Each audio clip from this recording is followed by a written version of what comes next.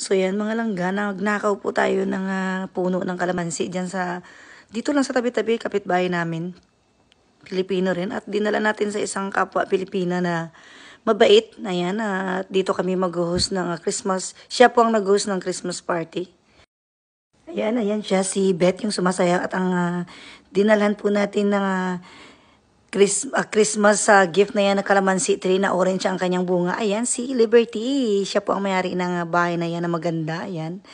Ay, nako. Ayan, posing-posing. Nawawala ba yung ah, kanyang picture, ganyang-ganyang picture-picturean? Siyempre, hindi. Ayan.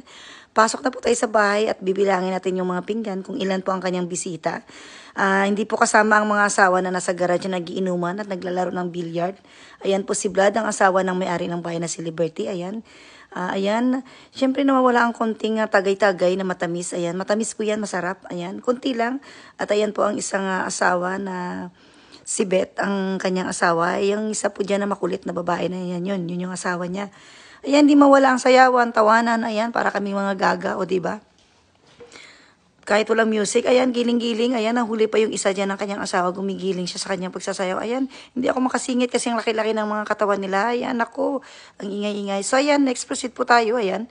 Magbubunot po kung kaninong bahay ang next ah, na mag sa Christmas party. At ayan, si Alma, gumagapang, nakik